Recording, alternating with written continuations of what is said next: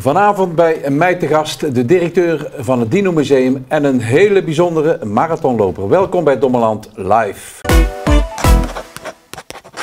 Bij mij aan tafel uh, René Fraaien en Luca Zimmerman. Uh, welkom.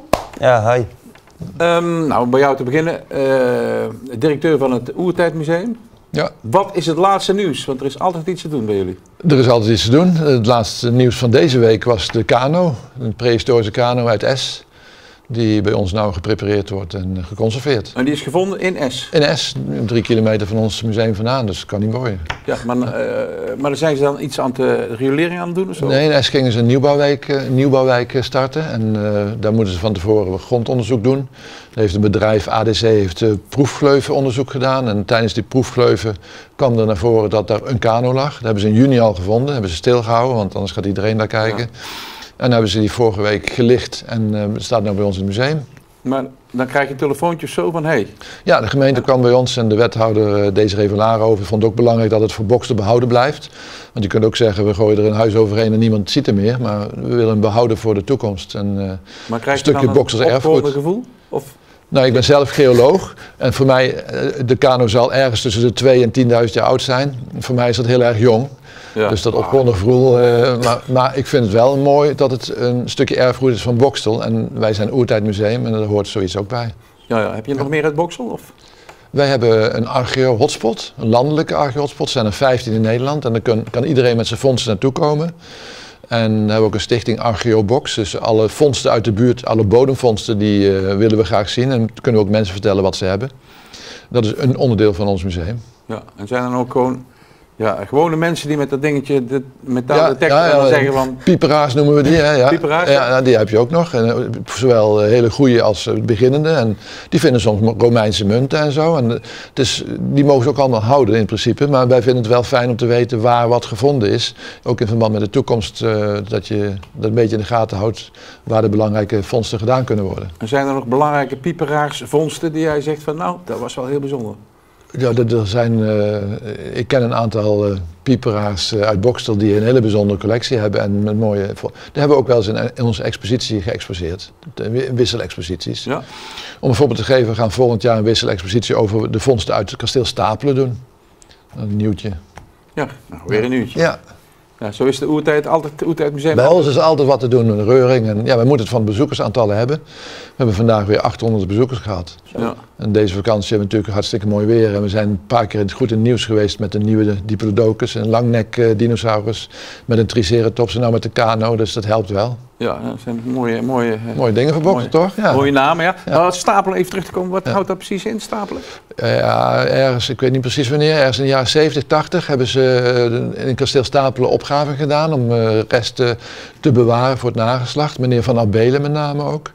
En die, die, meneer Van der Billen heeft een hele grote collectie en daar mogen wij uh, straks de bijzondere vondsten daarvan, en we hebben ook een deel in onze eigen collectie, uh, gaan dat selecteren en dan gaan we laten zien wat er tijdens de middeleeuwen in kasteel Stapelen allemaal gebeurde. En dat kunnen we laten zien aan de hand van vondsten. Nou, wat is daar gebeurd? Kan je al een tipje van de sluier? Dat zijn potscherven, maar dat zal misschien ook een kammetje zijn of uh, andere gebruiksvoorwerpen, maar daar gaan Carlos P. en Dick Bol weer over. Ja, dus. dat is ook niet zo oud.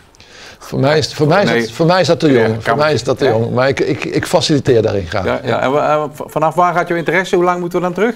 Nou, dan moet het echt fossielen zijn, dan moet het versteend zijn en dan hebben we het liefst over de dino-tijd. Dan hebben we het over miljoenen jaren. De, de dinosaurussen zijn ongeveer 66 miljoen jaar geleden uitgestorven en die oh. graven ja, dat is korte geleden, hè? 66 miljoen jaar. Ja.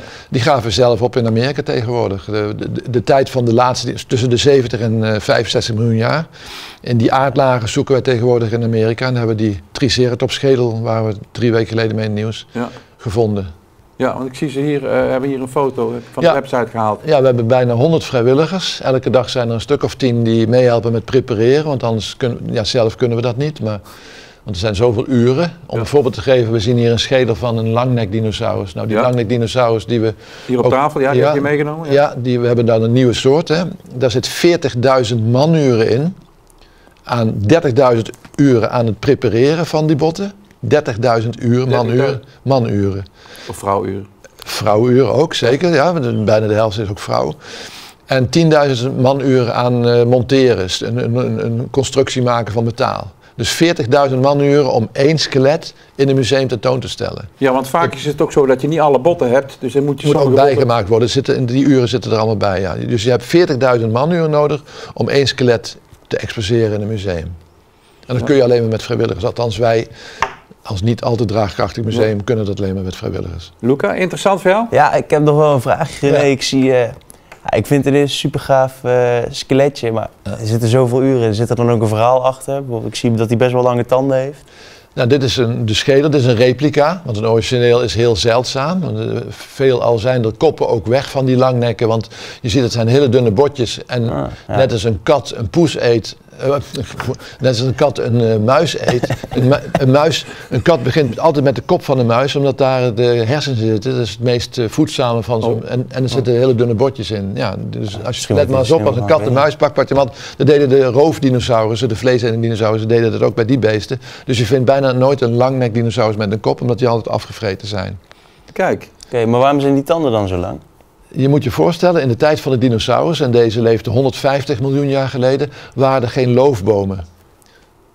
Oh, geen eiken, geen, waren alleen maar naaldbomen. alleen maar van die naaldbomen. waren alleen maar coniferen. En hoe eet je coniferen? Niet met maal kiezen zoals een koe en een paard. Nee, daar heb je een kammetje eigenlijk voor nodig. Net zoals je ook bessen kunt ritsen van een struik. Ritsten hun de naalden van de bomen, want ze wilden geen hout naar binnen werken. Ze wilden alleen maar die naaldjes. En dan, ja, dat noemen we een kamgebit. En dat hadden die beesten. Ja. Maar ja, dat, dat vinden wij mooi om de ecologie van vroeger te reconstrueren aan de hand van vondsten. Ja, dat is prachtig. Ja. Nou, wel super gaaf. En ik, uh, ik vind jouw museum ook super gaaf. Ik ben er zelf vroeger als kind ook wel een aantal keer geweest. Uh, ja. Ook wel eens met school van die lessen dan die je kreeg. En ik vond ik altijd best wel super tof. Ja, nou, hartstikke leuk. Maar ik wil je ook introduceren natuurlijk. Je bent al flink aan het praten. Uh, Lucas Zimmerman. Ja, hallo. En je zit hier om twee redenen. ja, je hebt Gilles de La Tourette. Ja. Waar ik trouwens, ik ken je al heel lang nu. En dat heb ik al tegen jou verteld. Ik zie eigenlijk weinig aan je.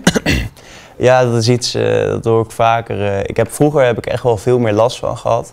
Uh, maar ik heb gemerkt dat de afgelopen jaren, ten eerste dat het uit zichzelf denk dat ik er wat meer overheen aan het groeien ben, dat, dat het wat minder wordt.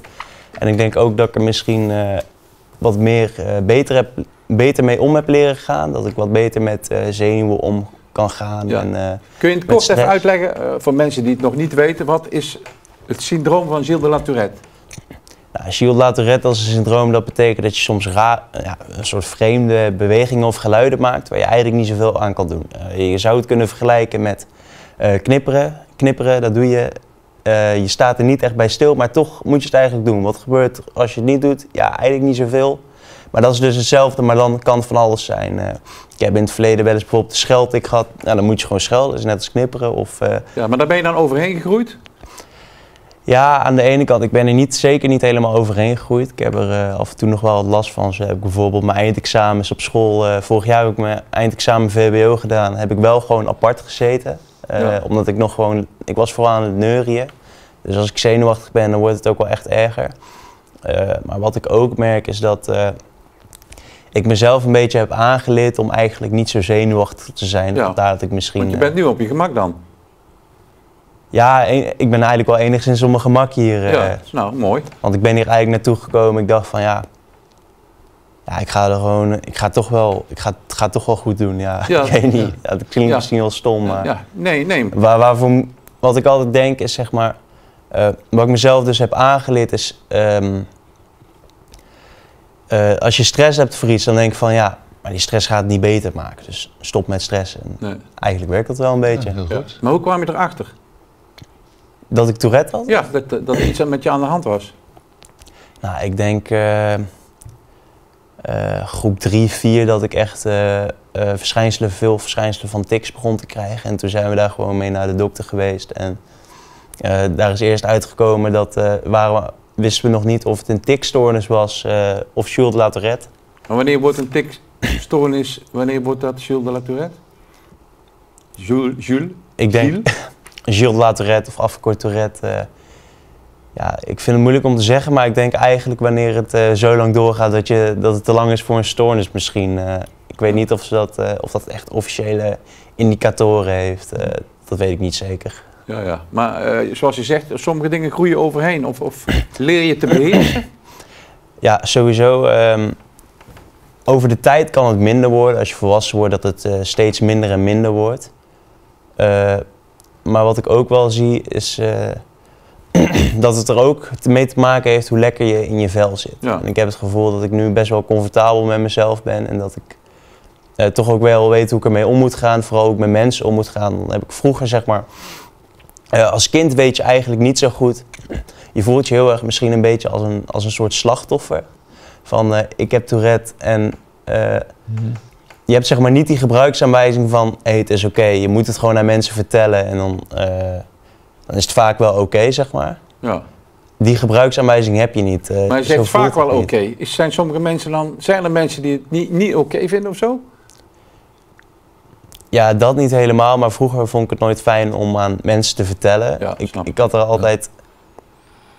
Ik dacht altijd van, maar ja, mensen moeten mij maar gewoon goed behandelen omdat Tourette heb, zonder dat ik tegen ze zeg. Maar dat is eigenlijk een hele rare gedachtegang. Ja. Eh, je zou jezelf eigenlijk juist van jongs af aan moeten aanleren van, ehm, zeg maar hoe het zit. Tourette is zeg maar een van de kaarten die je hebt, zeg maar in het leven en dat. Ja. eh, Maar is het niet gewoon een wijze les voor alle kinderen, wat jij nou zegt? Ja, zeker. Alle, alle kwaaltjes, dingen, syndromen waarmee je geboren bent, daar ga je eigenlijk eh, ga je er niet zoveel meer aan kunnen doen. Dus daarom moet je er maar het beste van maken. En daarom zeg ik ook gewoon van, eh, als je op nieuwe plekken komt, vertel gewoon aan mensen dat je het hebt. En dan komt het vaak wel goed. En al helemaal als je jong bent, kan ik me wel voorstellen dat eh, mensen er bijvoorbeeld veel om gaan lachen of dergelijke. Maar aan de andere kant denk dan ook wel, stel ik had geen Tourette gehad en ik had in hun schoenen gestaan. Ja. Had ik er dan misschien niet eh, om kunnen lachen bijvoorbeeld? Maar kun je er zelf wel om lachen af en toe? Ja, ik kan er wel om lachen. Ik heb wel grappige dingen meegemaakt. Dus, Vertel. Nou, vertel. Ja, vertel. Goed. Nou, ik, eh, ik denk dat ik het het ergste heb gehad, eh, voornamelijk op de basisschool. En eh, tot en met de brugklas is het ook nog best wel heftig geweest. Op een gegeven moment had ik een scheldtik, dat ik zeg maar kanker riep. Nou, Ja. verschrikkelijk, zou je zeggen. Ja, is het, ook, het is natuurlijk verschrikkelijk als je dat roept. Maar op een gegeven moment, zo tijdens de Nederlandsles, vraagt mijn, vraagt, mijn Nederlands juffrouw. En die Nederlands juffrouw die werd zeg maar al kwaai als je, als je kut zei tijdens die les. Dan moest je een 300 woorden schrijven Oh jee. waarom je zoveel spijt hebt van die actie. nou, ze, ze, ze vroeg zo aan mij. Ja. Nou, welk, welk zinsdeel is dit niet? Ik zeg zo, ik begrijp dat bijvoeglijke kankernaam wordt niet. Ik vlopte er zo uit. Ja. Oh, en, Ja. bo- en boos worden, Ja. ja. ja. Maar- toen eh, ben ik nog wel even naar de... ja, maar raar dat een lerares in dit geval er niet van weet, toch? Nee, ze wisten er wel van, maar Oh, ik, het, is toch, het is toch wel lastig. eh. ik denk dat al helemaal omdat je als docent ook niet echt een gebruiksaanwijzing hebt hoe je met zo'n leerling om moet gaan. Denk ja, ik. Ja, ik vind het toch vreemd. Sorry dat ik het zeg, maar. Ja, ik, eh, ik moet wel toegeven, op school op zich was het wel goed geregeld, maar ik heb het toch wel best vaak, op- al helemaal tijdens de toets, Ja. stel ik zat wel in het lokaal, heb ik toch wel vaak tegen de surveillant moeten zeggen van, hé, hey, ik, heb, ik heb Tourette. Ja, dan zitten ze zo te kijken van, Ja. wie, wie, zit daar, eh, wie zit daar te neurien? Ja. Stop daarmee. Ja. Zeg ja, sorry mevrouw, ik heb Tourette-syndroom. Ja, ja, ja. Maar ik denk dat de meeste mensen inderdaad het syndroom eh syndroom Tourette kennen van, van het, eh, het, het, het roepen van woorden. Mhm. Maar daar heb je eigenlijk maar kort last van gehad. Maar zijn er dan verschillende woorden? Of heb je een hele woordenschat? Of zeg je van nou, ik zal Nou, vandaag eens even... Of kan je Sowieso, er niks eh, aan doen? Nee, ik kan niks doen. Sowieso ten eerste, eh, de bekende scheldtik eh, hoort vooral bij het stereotype. Want ik denk dat maar een paar procent, misschien maar 10 procent, ik bind me er niet op vast, dat die daadwerkelijk maar last heeft van, eh, van de scheldtik. Ja, Nee, ik heb daar ook maar kort last van gehad. ja, Eh, nou gelukkig. ja, voor de rest waren het allerlei andere dingen. Zo een keer dat ik mijn middelvingers zo de lucht ingooide of Ja. echt bewegen. Zo met mijn nek helemaal bijvoorbeeld. Maar het is wel eens lekker om je middelvingers zo de lucht in te gooien, of niet? Som, dat je kan zeggen, nou, ik heb Tourette. hè, Ja, eh, Het is wel eens ooit lekker geweest, maar op een gegeven moment, ik zeg maar telkens zo, nou, ik uit die berg kreeg ik best wel last van mijn armen eigenlijk. ja, ja. eh, dus dat was niet helemaal mals. eh, ja. ja. Ja. We hebben een, een, eh, ik heb een filmpje van de website afgehaald. Gewoon een algemeen filmpje over uh, Gilles de Laterre. Gaan we even naar kijken. helemaal goed. 1 op de 100 mensen heeft Tourette. Een aandoening die er altijd is. maar die jij niet altijd hoort of ziet. Door ons te leren kennen, Wordt Tourette beter zichtbaar? en zul jij het eerder herkennen. We gaan naar tourette.nl Dat is gewoon voor mij. En leer ons kennen.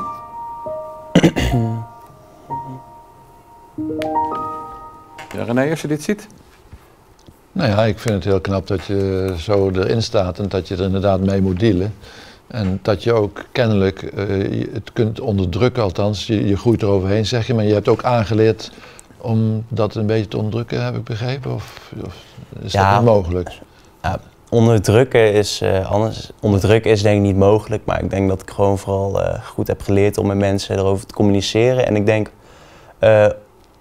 ook dat het veel te maken heeft. Stel jij bent een heel onzeker persoon of je hebt heel veel aan je hoofd hangen, dat het dan Sterker ook, wordt. ook wel sterker wordt, zeg maar erger wordt en lastiger met stress, et cetera. Ja. En ik denk dat ik daar wel goed mee om heb leren gaan. Nou, maar dat is iets wat ik wel ontwikkeld heb over de tijd. Gewoon uh, door middel gewoon van een goede mindset. Van, Ja. eh, Maar heb je daar hulp bij of, of, of doe je dat zelf?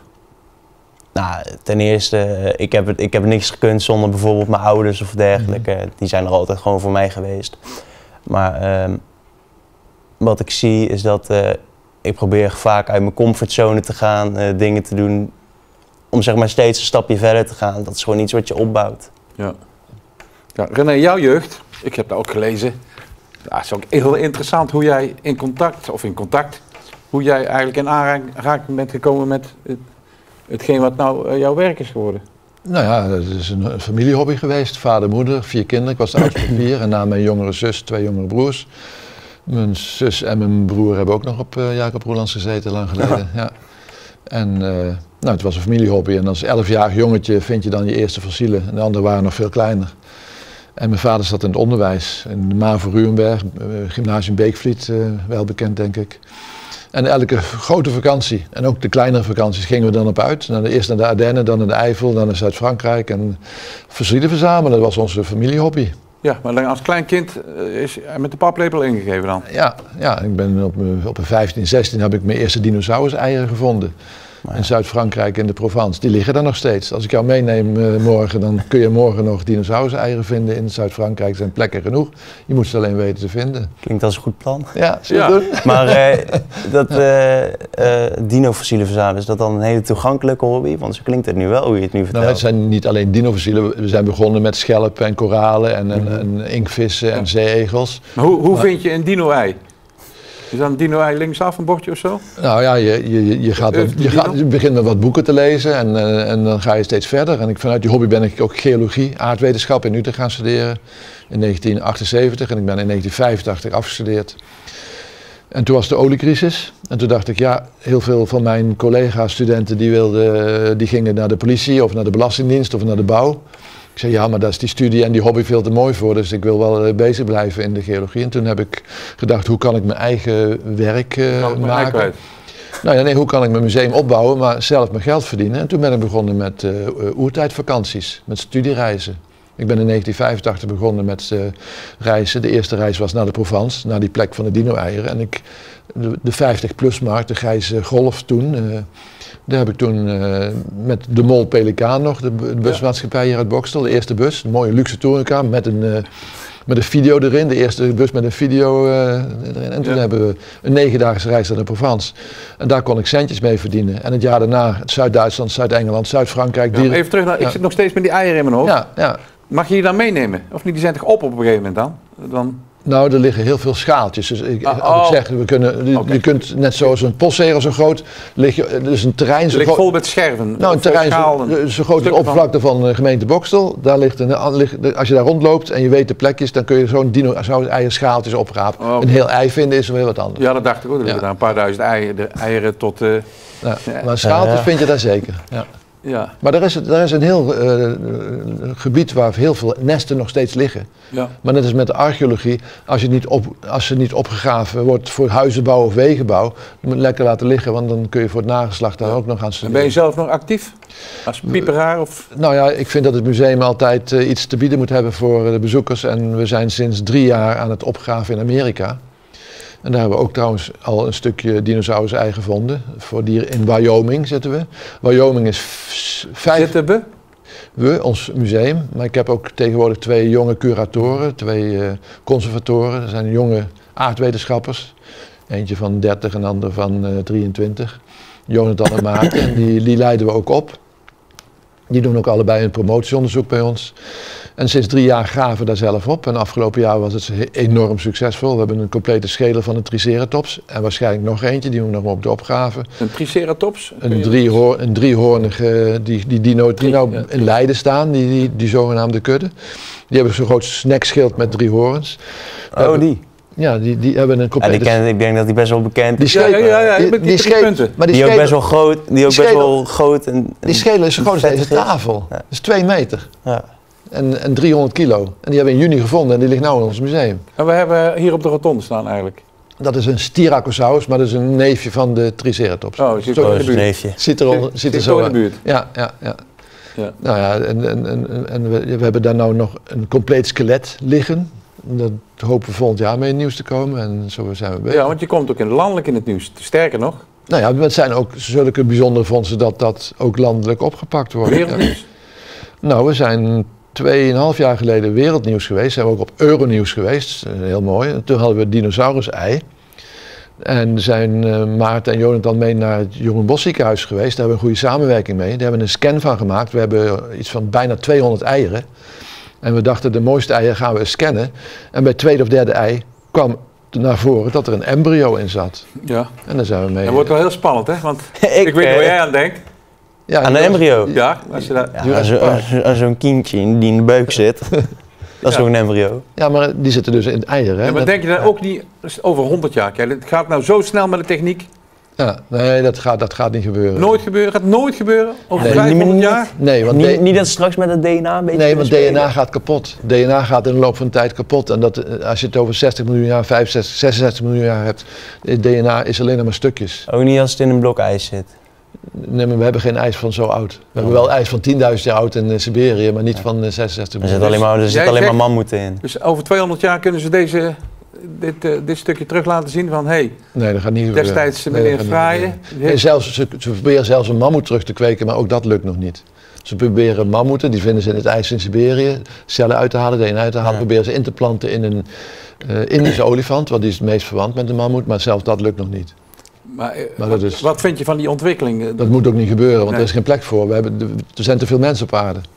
Ja. We hebben er geen, geen plek voor.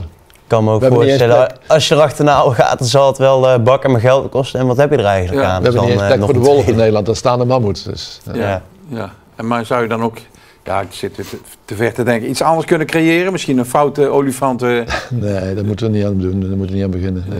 Laten we maar gewoon eh, onze wereldje lekker eh, Houd, houd mooi bij het museum. Nou ja, en ja, probeer de natuur die we nu hebben, probeer die eh, goed te behandelen. En in plaats van eh, te Ja. gaan stoeien met het verleden. dat is weer een hele andere discussie. Ja, daar kunnen we Zeker. nog een, een, een, een uitzending over wijden. Ja, ja, ja, ja, ja zeker wel.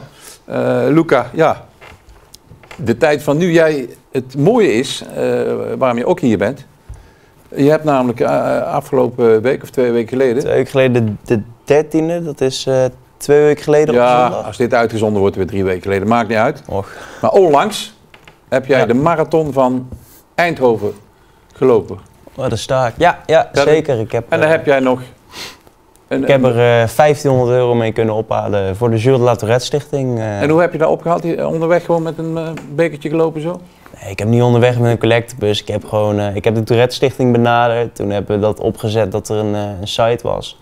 Toen heb ik gewoon alles eh, via sociale media gedeeld, eh, aan veel mensen verteld, een beetje verspreid. En eh Ja. zo doen, zo gaande heb ik eh 1500 euro weten op te halen voor de stichting. Een hele marathon? Een hele marathon. Ja. Nou, is sowieso al een hele marathon lopen, is al, vind ik al bijzonder knap. Maar is het nou met Tourette nog extra moeilijk? Zeg je van nou, de- Ja, het is wel iets lastiger. Wat ik merk is, al helemaal omdat ik dan eh, 42 kilometer moet lopen, ben ik dan echt aan het rennen. Maar ik heb dan een, een tik, zoals je dat noemt, dat ik mijn armen en mijn benen wil strekken. dat is lastig, eh, hè? toch? Lopen, ja, ja. Lastig met een marathon lopen. Nou, stel je voor, eh, je bent al 25 kilometer in een lekker ritme aan het, eh, aan het lopen en je hebt even een gestrekt been, dan ben je wel even helemaal van je apropos af. eh. Ja, is dat gebeurd ook? Ja, tijdens de race wel. eh, dat ik even, even mijn benen moet strekken. En dan is, het is vooral heel oncomfortabel, want je probeert echt in dat ritme te blijven. Maar dat is toch wel irritant, omdat je dan toch de rest een soort van moet onderdrukken. En ook, wat ik ook merk, soms met ademen, dat ik soms doe ik eh, zo... shh, shh, met ademhaling een beetje in de weg zit. Maar eh, ondanks dat eh, is het toch wel erg goed gegaan, vond ik. Ja. Maar daar moet je wel voor getraind hebben. dat doe je niet van de een op de andere dag. Of wel? Nee, nee, ik heb eh, volle drie maanden heb ik ervoor getraind. eh. Ja. Ben ik gewoon, eh, elke week ben ik vier keer op pad geweest. Ik heb gewoon een schema laten maken via iets, eh, iets Ja. online. Ehm, gewoon vier trainingen in de week. Eén, eh, één lange afstand, twee interval en één eh, lekker korte afstand. Ja. Maar dan denk ik, zou het niet zo kunnen zijn, dan ben je zo moe dat je de rest vergeet? Om je benen te strekken, dat je niet meer aan denkt of zo? Omdat je zo moe bent? Of is dat onzin wat ik zeg? Ja, dat is wel onzin wat je zegt inderdaad. Ja. Nee, eh, ik kan, wat wel is, dat, eh, Nou, je hoort wel eens dat iemand in een flow komt. Hè? Dat, dat- Ja, ik wou net zeggen, de flow, eh, zeg maar, als je de concentratie, als je die echt goed vasthoudt, dan denk ik niet dat je super zenuwachtig bent of dat je super gespannen bent. Ik denk dat je dan toch best wel minimaal er last van kan hebben. Maar eh, ik heb wel wat, eh, wat een beetje last gehad tijdens de marathon. Maar het was Ja. ook niet zo erg eh, dat ik zat van, eh, het is verschrikkelijk. Maar het was op zich nog eng, enigszins te doen. Ja, ja. We hebben ook beelden van jou eh, dat je de marathon aan het lopen bent. Nou,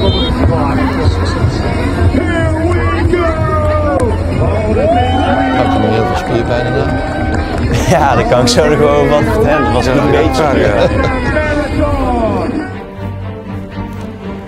Nou, ze maakt het hier wel heel episch op. Ik was, eh, kan ik praten tijdens het filmpje? Ja. Kan dat?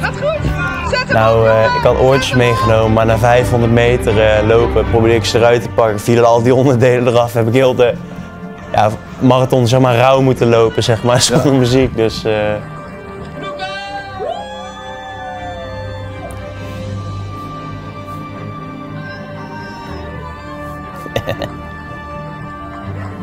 Mooi hoor.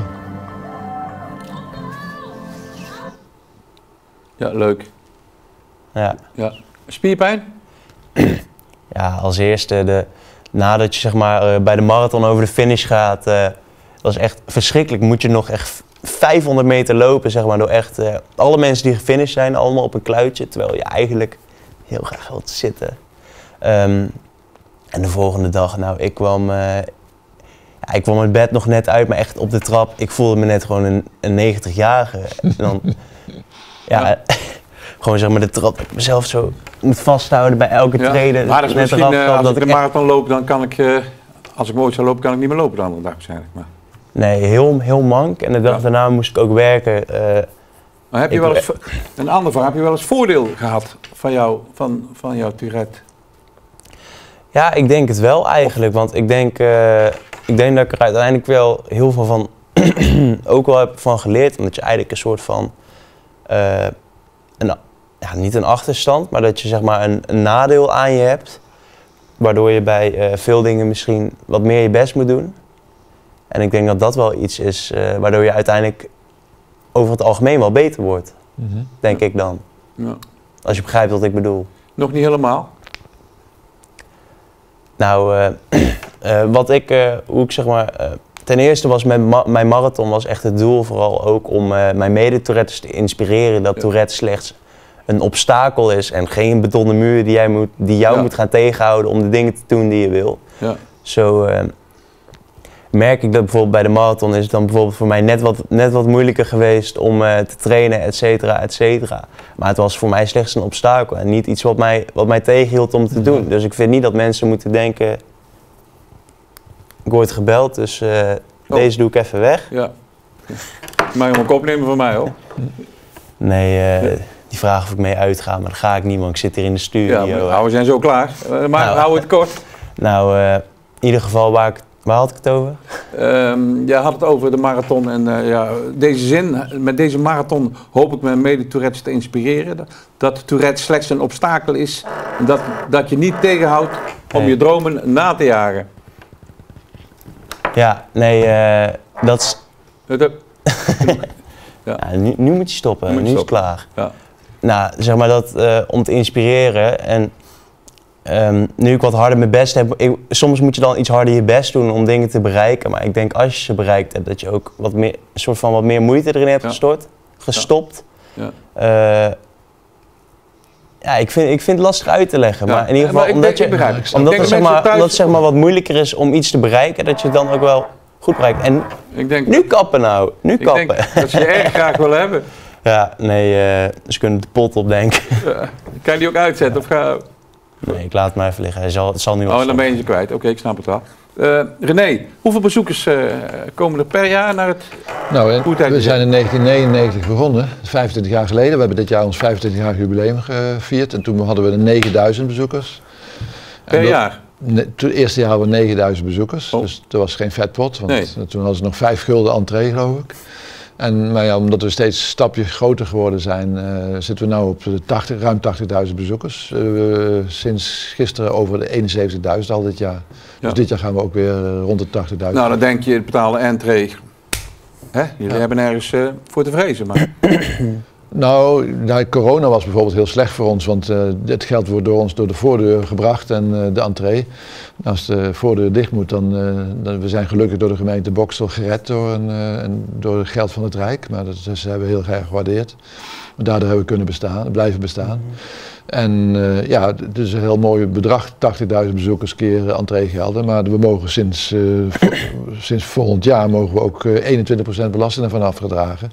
BTW... eh, En dat is een hoop geld, want nu betalen we 9% en dan gaat dus 12% bovenop. Dus Ja, het de wordt over- 21 procent. de overheid zegt- echt... nou ja, wij zijn, we worden door de overheid als een bedrijf beschouwd. Maar ineens te zeggen dat je 12% extra moet afdragen, ja, dat is, Dat is flink. Dat is een hele Dat hoop. is gewoon een, meer dan een tiende van de inkomsten, Ja, zou je ja, zeggen. ja, dus, eh, daar moeten we ook weer mee dealen. Ja, maar is de gemeente... eh, bij corona zijn ze goed voor jullie geweest. En, en nu? Nou ja, de, de gemeente eh, is van mening dat wij ons dat wij, dat we het heel, heel goed doen en dat wij onszelf bedruipen en dat, eh, dat vinden ze prachtig. En ja, ik weet ook niet of de gemeente daar geld voor kan vrijmaken. Het zou Ja. fijn zijn, in ieder geval een, eh, een hulp bij die 12% die wij moeten eh, afdragen extra. Het zou wel fijn zijn als daar een hulpje bij kwam. Ja, maar die- het Oertijdmuseum is toch een uithangbord voor de gemeente Boksel, toch? Dat proberen we wel te zijn. Nou, ook weer met die kano en met die dino. We, we zetten boksen elke keer op de kaart. Dus dat ja, we want je hoort toch als je het over Boksel hebt, zeggen ze, oh ja, van het We Oertijd. zijn ook eh, als parel van Boksel een paar jaar geleden benoemd. En dat, dat Ja. doen we ook heel graag. Ja. Ja. Maar ja, cultuur is niet het meest eh, prangende vraagstuk bij de politici. Nee, dus... Ja, Nou ja, jullie zitten ook bij een omroep. Ik, ik hoef jullie niks te vertellen, denk ik. eh, breek me de bek niet open, zou ik willen Ja, zeggen. ja, ja, je kunt wel eens terugkaatsen. Maar Ja. ik, ik vind het toch wel heel fijn dat ik dit heb kunnen opbouwen zonder eh, structurele hulp van. of we krijgen geringe subsidie van de gemeente Boksel. We krijgen elk jaar nu 7.500 euro. Ja. Daar moeten we het mee doen. Ja, Ja, nou, nou, dat- Ja, ik- dat- ik- dat is net als ik- eh, hij zegt, eh, ik, daar, daar moeten we het mee doen en dan moet je verder. Ja. En, en dat, dat, dat, dat- ja, maar denk je dan ook niet ja, eerlijk en van oneerlijk. sorry, is ja. niet een beetje weinig? eh, Nou ja, hij kan ook denken van eh, waarom ik en eh, ja, zo, is het, zo zit het leven in elkaar. Ja. En wij gaan vrolijk verder met ons museum en iedereen moet met zijn Je moet tegen. maar kijken hoe je het moet oplossen. Ja, dan, ja, eh, ja. Maar, zo, maar dus zo is het wel. En je kunt wel dan negatief gaan doen en zo. Nee, ja, Ja. klopt. Ja, Dus, hoe, eh, hoe, je hoe ik het dan vaak zie is van, eh, als, er, als er iets vervelends gebeurt, van ja, het is toch al gebeurd, dus nu moet ik er het beste voor maken. Ja. Ik kan er o- erover jammer vind ik altijd eigenlijk best wel stom eigenlijk. Je kunt in een hoekje gaan zitten. En dat doen sommige mensen ook. Maar ja, zo, Ja, maar- zo ben jij niet, zo ben ik niet. Maar, Nee, maar het is ook toch een wijze les weer, want tegenwoordig ook, met Ja. mensen die dan tegenslag krijgen. ja, probeer er toch Of- van te maken. Wat, ja, En het is traditie, weet je niet. Ik denk, ja, ja. En ik kan wel blijven zeuren bij de gemeente van geef meer geld. Maar dat, dat doen heel veel instellingen. Ja, je zult toch verder moeten. Ja. en dan Ja. stop ik liever mijn energie in de positieve dingen. Zoals opgave in Amerika. Dan vinden we leuke dino's. En dat geeft weer reuring. En weer extra inkomsten door die bezoekers. Dus Ja. dan probeer ik het op een andere manier. ja. En de moderne techniek, dat zou Nou, voor jullie museum toch ook wel fantastisch Nou, wij zijn. zijn ook een stage-leerbedrijf. Eh, wij krijgen eh, MBO-studenten, Sint-Lucas komt bijvoorbeeld bij ons. De Helicon eh, komt bij ons. De HAS, Den Bosch, de HBO-opleidingen en de universiteit komen bij ons. En we doen ook scannen tegenwoordig, 3D-scannen, 3D-printen. Wij kunnen de botten die wij missen van zo'n dinosaurus, die kunnen wij inscannen en dan uitprinten. En we kunnen spiegelen. En dan, als we de rechterpoot hebben, kunnen we de linkerpoot bijmaken. En Ja. die moderne technieken, daar gaan we in mee. Dus met AI bij jullie? Nou, we hebben eh, wanneer het nou, eh, drie, vier jaar geleden die dinosaurus eh, speurtocht in Bokstel opgezet. Dat je met je met Ja, ja. een appje kun je de dino's eh, zie je lopen en dan kun je, naast, kun je naast gaan staan. Ja. Ja. Gaaf. Dus we proberen als oertijdmuseum toch met de tijd mee te gaan. Ja. Ja.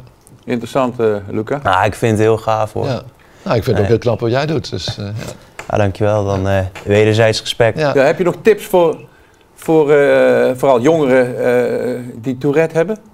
En die, Eh. dan, die misschien wat jonger zijn en denken, ja, Ja, ik was vroeger altijd heel bang van eh Tourette gaat mij altijd overal tegenhouden. Hoe ga ik ooit, eh, hoe ga ik ooit een vriendinnetje kunnen hebben? Hoe ga ik ooit een eh coole baan krijgen of zo, weet je wel. Ik dacht dat het me altijd helemaal zou stoppen. Nou, Dat ik- en dat ik niks meer kon, dat dacht ik echt Ik werd altijd. net gebeld door een vriendinnetje, neem ik. Of, Nee, er wouden jongens die, die, zeggen, die waren van, hoezo kom je niet naar de kroeg? Da daarom belden ze. Maar, ja, ja, maar je had het, sorry, ik interrupeerde, ja.